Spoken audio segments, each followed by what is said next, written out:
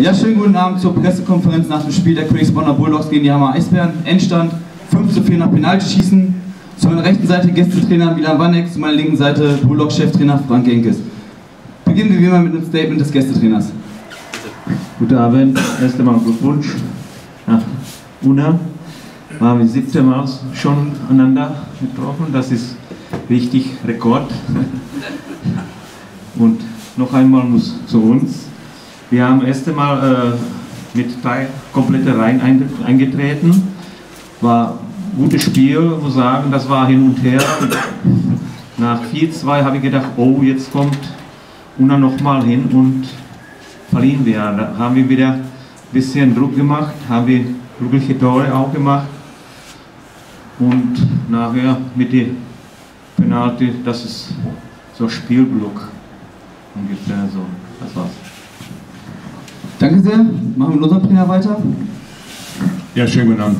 Ja, ich denke, es war eigentlich ein Spiel, was ein bisschen teilweise rauf und runter geht. Trotzdem muss man auch sagen, wir sind jetzt glücklich über den, den Sieg heute. Trotzdem habe ich meiner Mannschaft auch gerade gesagt, wir haben einen Punkt verschenkt heute. Und die Chancen, die wir hatten, hätten wir das Spiel auch ohne große Probleme gewinnen müssen. Ich denke, die, Schüsse waren doppelt, die Chancen waren doppelt für uns heute. Denke, wir waren auch von Beginn an überlegen. Aber dann haben Kleinigkeiten dieses Spiel wieder entschieden. Wir standen wieder 4-2 zu uns, genau wie beim letzten Mal. Und dann geht ein bisschen Zittern in der Verteidigung los und beide Tore waren eigentlich ganz einfach zu vermeiden gewesen. Man muss nur gegen Schläger spielen und dann ist gut. In Schlüsselposition, Schlüsselposition habe ich dann auch gesehen. Äh, wir haben dann die, haben wir die Strafe bekommen, fünf Spieldauer. Und dann macht man einen Fehler, den man nicht machen darf. Dann hat der Andy hat einen kleinen Cut am Ellbogen ja, und der lässt sich den nähen und er fehlt uns fünf Minuten in Überzahl. Wir haben nur zwei Center, das ist haarsträubend ein Fehler. Dreimal gesagt, bitte schicke ihn wieder raus.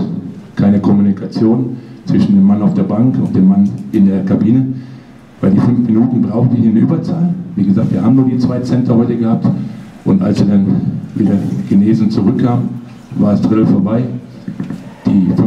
Überzahlsituation war vorbei und er hätte dann 15 Minuten Zeit gehabt, sich den kleinen Cut in der Kabine zu. Und das sind Sachen, das weiß man vorher. Da arbeitet man eine ganze Woche für sowas und dann passiert sowas.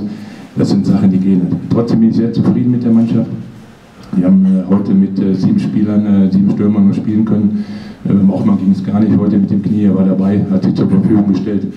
Und wir konnten diese drei Blöcke heute nicht gehen. Wir sind mit, mit sieben Stürmern nur gegangen haben auch gemerkt am Ende, wir sind immer müder geworden. Trotzdem waren äh, genügend Chancen da. Jetzt haben wir drei Spiele gemacht in der Aufschlussrunde zur DL2, zwei Siege eingefahren. Ja, besser kann es für uns eigentlich gar nicht laufen. Dankeschön.